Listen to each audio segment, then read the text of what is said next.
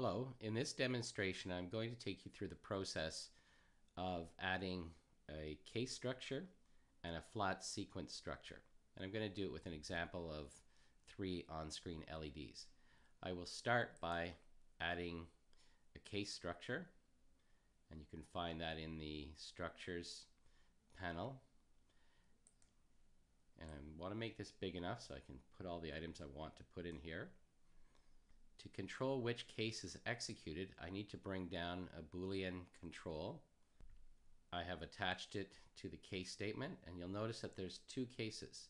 When the select is true, it'll execute this case. When it's false, it'll execute this case. I'm going to start by filling in the true case. Within the true case, I'm going to add a flat sequence structure. It's found in the same area, the programming structures palette and it's a flat sequence structure. And I'm going to start off by opening up one frame. And you'll notice the frame looks like a film cartridge for a 35 millimeter camera. And if I want to add a second frame, right click on the frame, add frame after, add a third frame, and then I want to resize the frames. You'll notice that uh, there are blue points which you can grab onto for resizing. And same thing here, make sure you're on the frame that you want to resize.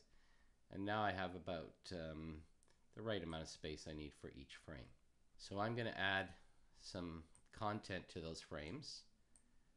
What I want to be able to do is change the way this code executes because normally in LabVIEW it kind of executes in parallel. It's called data flow and we want to change it to control flow so that this code executes first followed by this followed by this and the code will execute sequentially and it'll wait till each frame is complete then it moves to the next and it moves from left to right.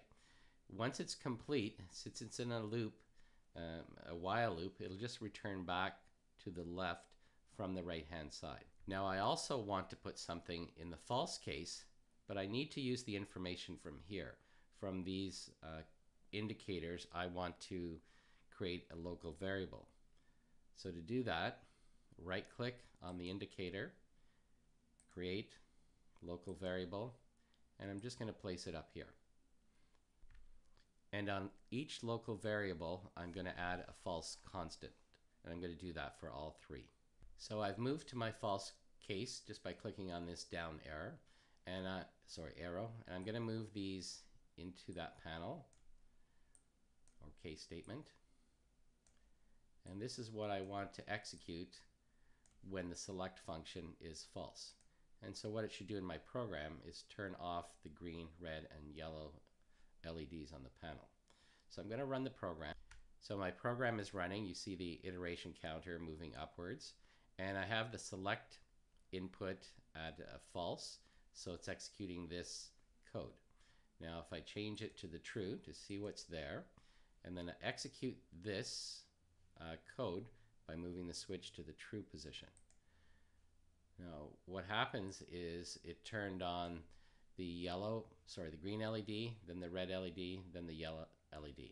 And now it's just running back in a loop. So after it finishes this frame, it moves back to the left-hand frame.